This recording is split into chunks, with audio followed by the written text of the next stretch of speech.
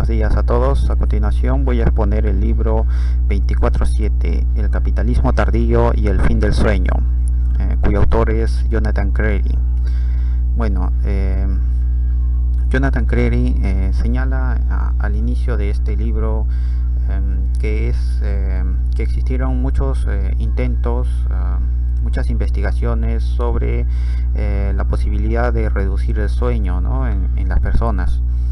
Eh, señala el caso de Estados Unidos eh, que se investigó unas, unos gorriones eh, de corona blanca que tenían una capacidad especial durante las migraciones que podrían estar despiertos durante siete días continuos. Entonces sobre todo el Departamento de Defensa de los Estados Unidos comenzó a investigar este, este fenómeno eh, de los gorriones la finalidad de aplicarlos a, los, a, la esfera militar. Eh, pero como sabemos, eh, como señala Jonathan Crary, la historia siempre ha demostrado que las innovaciones tecnológicas en el área militar siempre han pasado luego a la esfera social. Entonces, de tal forma que el soldado sin sueño es antecedente del trabajador sin sueño y del consumidor sin sueño.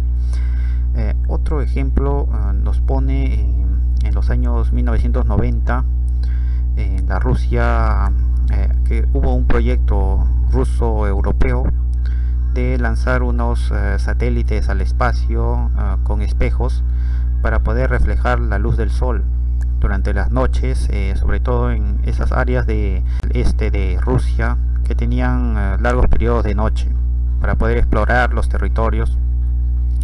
Eh, pero señala también el autor que esto, este proyecto incluso se, se extendió y se, se quiso también abarcar los territorios de metropolitanos, ¿no?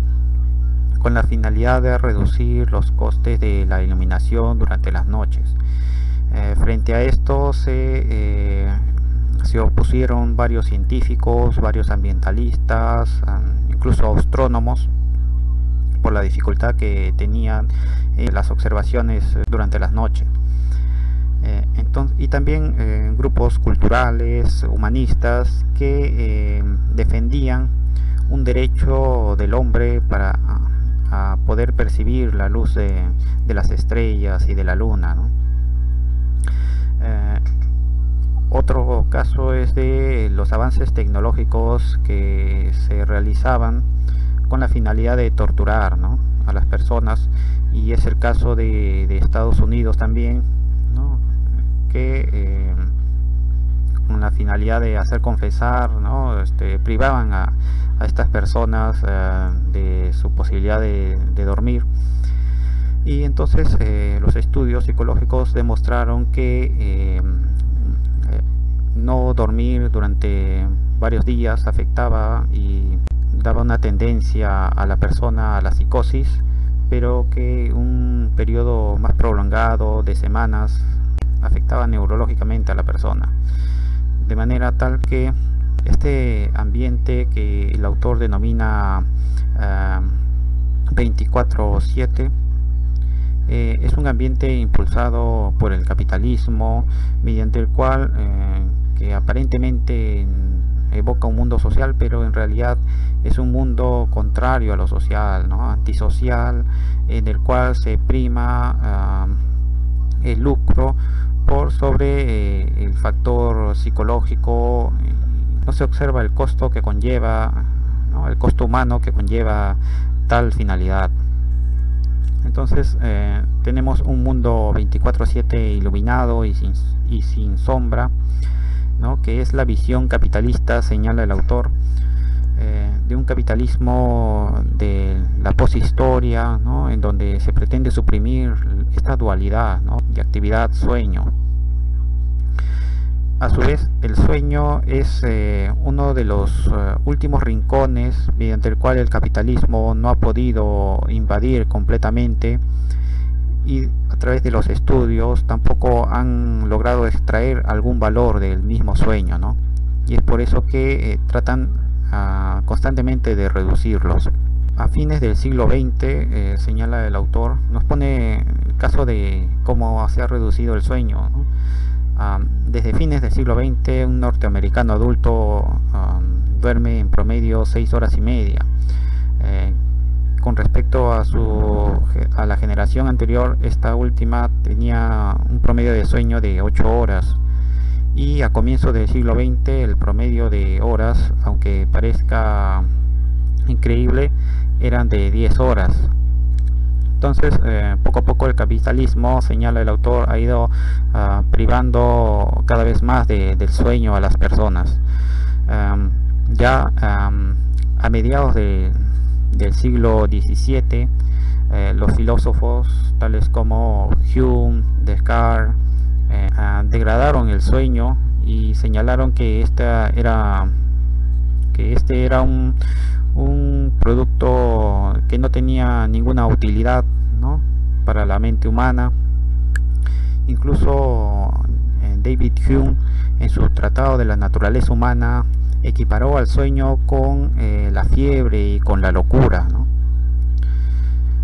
Entonces vemos que el siglo XIX después de los abusos que se cometieron a los trabajadores eh, en las fábricas, los administradores de estas, ah, de estas fábricas eh, se dieron cuenta que eh, otorgar un tiempo de descanso a los trabajadores permitía a la larga una continuidad y una mayor eficacia en la producción.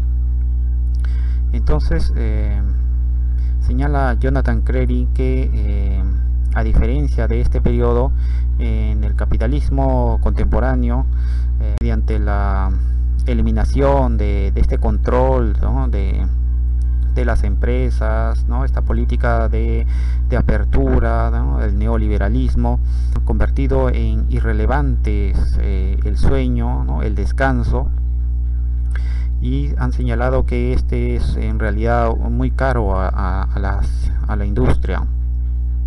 Entonces vivimos un mundo donde eh, el descanso no es privilegiado, ¿no? es todo, es por lo contrario eh, algo que debería eliminarse. Teresa Brennan acuñó el término biodesregulación para señalar eh, y resaltar este, este contraste que hay entre las nuevas formas de relaciones laborales en contraste con eh, la propia naturaleza humana, que es cada vez eh, eh, más afectada en lo psicológico y en lo físico por esta disminución del descanso. en relación con la era digital nos señala el autor que las tecnologías y esta capacidad de aumentar, de desarrollarse, contrasta con la posibilidad de la persona de lograr algún día este, dominarlas ¿no? Eh, entonces eh, vivimos eh, con estas tecnologías un mundo donde cada vez más enfatiza el individualismo cada vez más va a primar la seguridad y confort individual a costa de otros una preocupación personal Ah, y una despreocupación por lo social.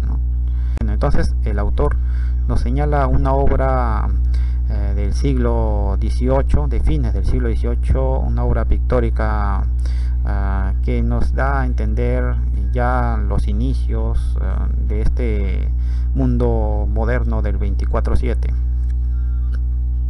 Se trata de la obra de Joseph Gray, denominada los molinos em, de algodón em, de Arkwright durante la noche. Eh, es una obra del año 1782 que a continuación vamos a ver. En esta obra de Joseph Wright ah, podemos ver que hay un contraste entre el paisaje eh, de los bosques, eh, del cielo nocturno, ah, en relación con las casas de ladrillos de 6 y 7 pisos que los historiadores han señalado como uh, una arquitectura sin precedentes eh, en, Inglaterra eh, durante este periodo.